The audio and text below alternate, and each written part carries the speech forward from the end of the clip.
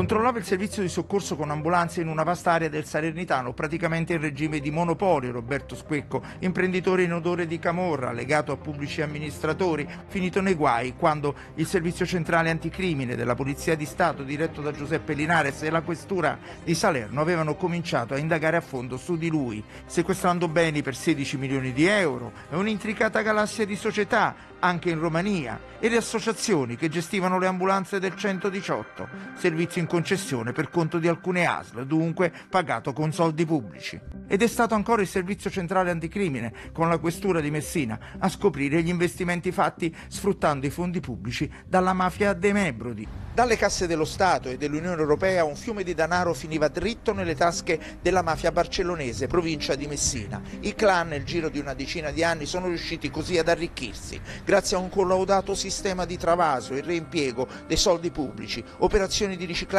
false fatturazioni che facevano perno su 16 società, soprattutto cooperative, cui finivano sistematicamente appalti per l'assistenza agli anziani, ai disabili, per la formazione, per il trasporto degli studenti, come per i servizi delle AS della zona. C'è una capacità di ottenere eh, diciamo anche finanziamenti Covid eh, in una situazione delicata per centinaia di migliaia eh, di euro, c'è una capacità di infiltrare l'economia altissima. È una indagine che costituisce anche eh,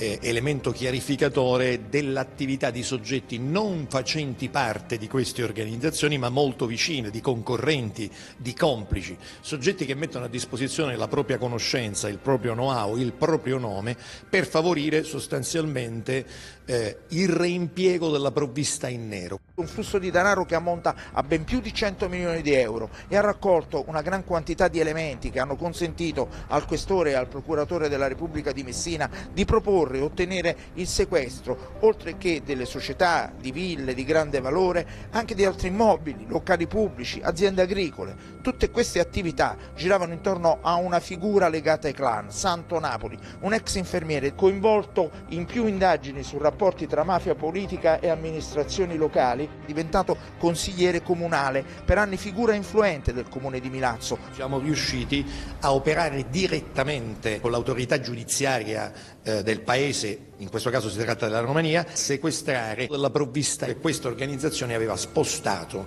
all'estero. Investimenti all'estero e in alcune regioni d'Italia. E proprio nei territori in cui minore appare il rischio di infiltrazione. È lì che si pongono come soggetto capace di acquistare e questo avviene soprattutto grazie a prestanomi, a consulenti. I clan hanno idee, specialisti, complici, strumenti per mettere le mani su qualsiasi genere di flusso finanziario pubblico. Lo hanno sempre fatto e si stanno dando da fare per mettere le mani anche sui soldi del Piano Nazionale di Ripresa, il PNRR. Laddove c'è un investimento rilevante bisogna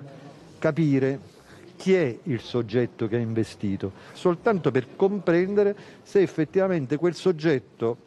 ha una coerenza economico-finanziaria che gli avrebbe consentito l'acquisto o invece è sorto dal nulla e quindi non ha una storia.